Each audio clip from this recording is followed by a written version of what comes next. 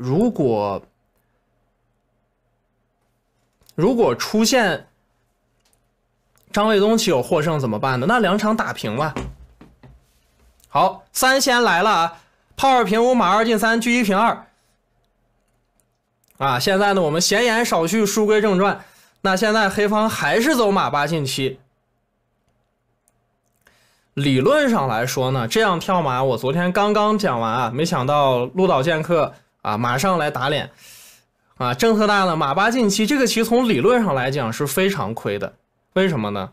因为你这个左马这个支撑腿的负担实在太重，那现在感觉车二进六就相当不错。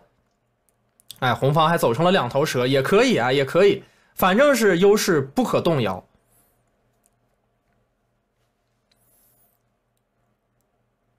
马二进三，车一进一，要不要走一个？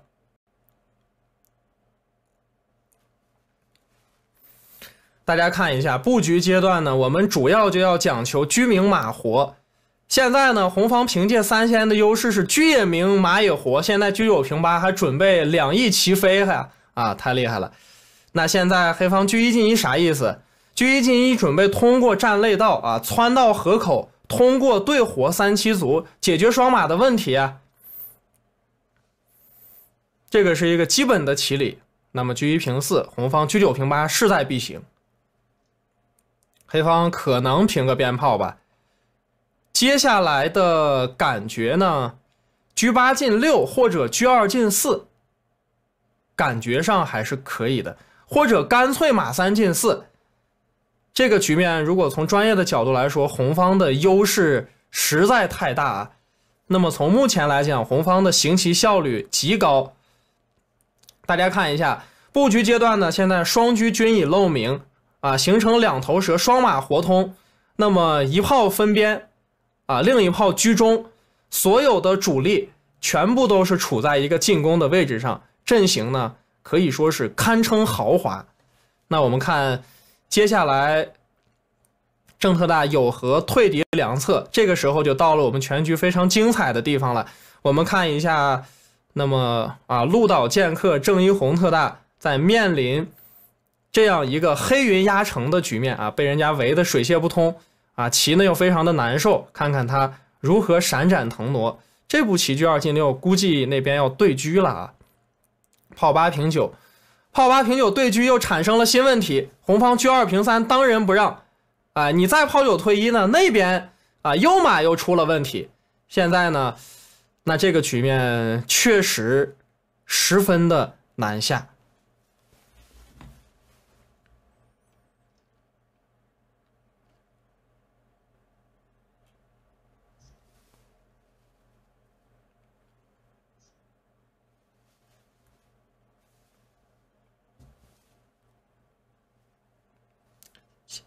谢谢大家啊啊！果然黑方炮八平九，总得解除这个压力啊。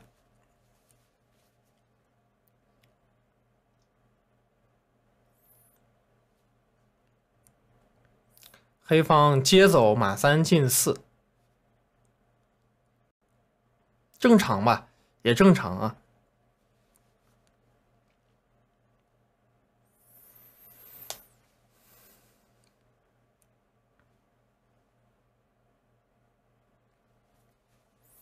目前为止，红方的第二盘呢下的呢先手在握，看起来一步废棋都没走啊。刚刚呢，不过感觉凶一点，可以车二平三直接杀卒，我觉得还是可以的。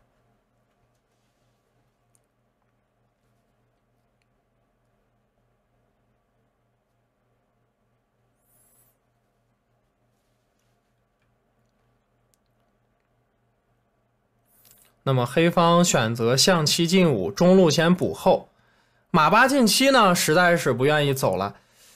大家看一下，简单的说一说，为什么黑方飞象宁可以弃掉中卒为代价，也不愿意把左马跳出来守住中卒呢？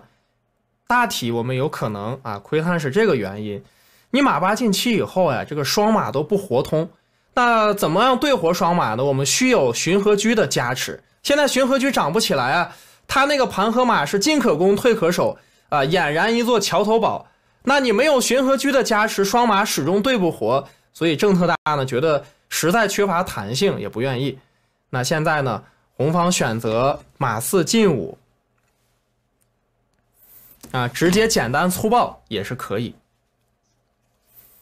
炮轰中兵以后，可以考虑通过补棋，啊，或者炮五退二，感觉补一手是一个问，呃，是一个可行的。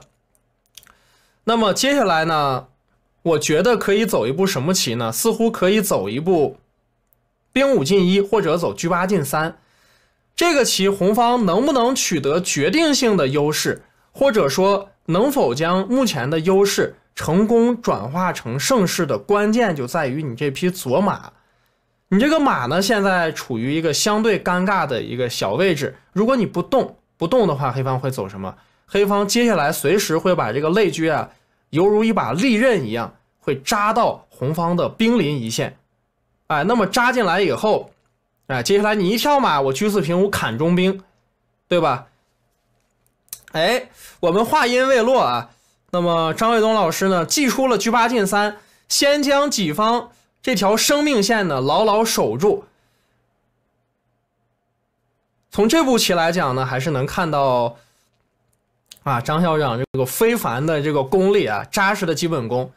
我们话音未落，马上祭出车八进三，那这盘棋就马上变得有意思起来了啊！大家觉得这步棋是不是本手呢？我觉得还是不错的，应该是所谓什么叫本手，就是棋筋嘛，必须要走的着。哎，这炮五退二拉回来吧，炮五退二还是炮五退一？那么炮五退一会出现这样的变化啊，再给大家汇报一下。如果你退一步，车四进一再捉，等到你下兵五进一呢，我就卒三进一对卒。这个局面，不过下完了车八进三，显然形势还是可以。以下兵五进一，这边在炮九退一啊。我们看黑方炮九进四，兵发少林，再走炮九退一。好了，那红方车八平五保住，是否是势在必行的？一个战术手段，是不是要保住？除了保住以外呢？那么炮九进四打过去似乎有点飘啊！哎，车八平五保住，在将来呢，我们就即便选择炮五平四把中炮平开啊，中兵呢直接冲过去，看起来呢也是可以的。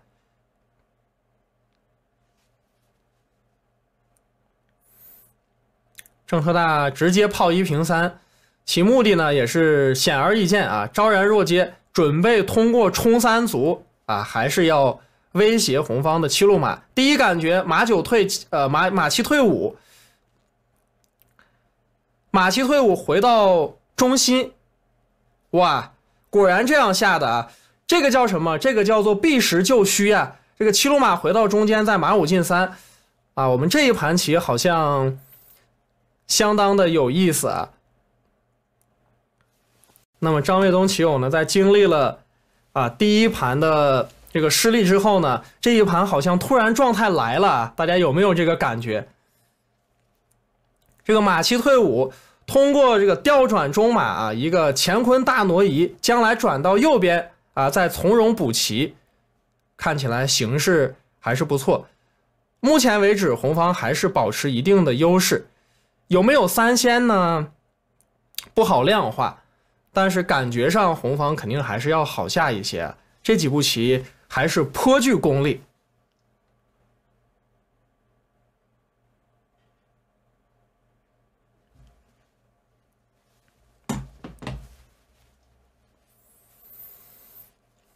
哎，这个黑方冲三卒，哎，鹿岛剑客这个棋太厉害了。冲三卒啥意思？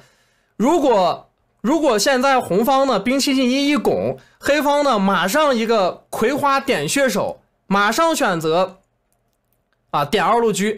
不过我感觉红方也只有拱，点二路车啥意思？那么准备打象闷攻啊。假如你红方啊走什么马五进三什么的，他这边呢一个是可以打象，一个是飞完兵了以后，黑方还可以炮三平五反架中炮。我们看一下，现在黑方如果点车，我估计十有八九红方就啊，马五进六，啊，一个翻提亮掌跳出去，这个弃子，大家看一下谁厉害？我觉得红方呢也不遑多让。除此以外呢，也可选择兵七平六，哎，再弃回来。不过兵七平六可能黑方就比较满意了啊。啊，黑方这个几点下二路，这个葵花点穴手，这个锁喉准备轰象杀，应该是必然的一个招法。这个时候我们看红方在兵七平六和马五进六两招之间在选择，如果马五进三显然不太好。大家看一下，马五进三应该是有点问题。哎，马五进六，红方下的非常的积极。当然了，马五进六，我觉得要想取胜，也几乎是华山一条路，下的非常好啊。那黑方这个时候如果不打象，就是炮九平五打中兵，大家觉得呢？炮九平五打中兵，红方如果吃，那黑方也吃回来，啊，或者黑方打象一将吃回来。哎，象五进三飞，这个也是我们刚刚设计的线路之一。一方面呢，继续准备打象；二来呢，准备炮三平五，随时吊住。啊，红方的中车，那这个局面士六进五是第一杆，先把中路补后，另外防止黑方炮三进七打象，啊，那么这样是否可行呢？士六进五先补一个，果然如此啊。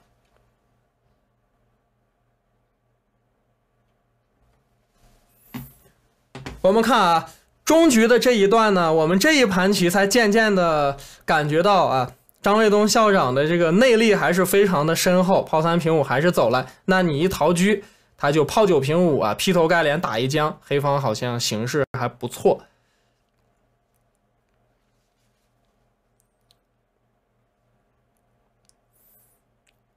鹿岛剑客，大家感觉是一种什么样的棋风呢？我个人的感觉呢？感觉到郑特大的棋风呢，还是非常的绵密，有点绵里藏针的意思。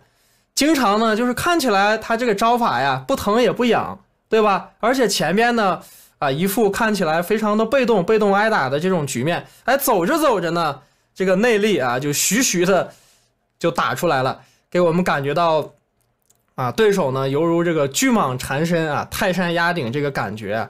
就这几步棋，我们是这样一个直观的感受。那炮九平五打一将必须还中炮啊，这个是全国统一还中炮。走别的招法呢，那飞象的话就打死了，重炮连杀。嗯，哇，我们这个棋局呢出现了非常戏剧性的一幕啊，这个应该是属于这叫什么？是属于非受迫性的失误啊。没有想到我们说这个不能飞象，应该走炮九平五，那么张校长真的走了一个。象三进五啊，这个马上在我们一个所有人都预料不到的啊一个结束的方式下，他们就结束了啊。这样这个比赛还是真的是没有想到啊，飞象那么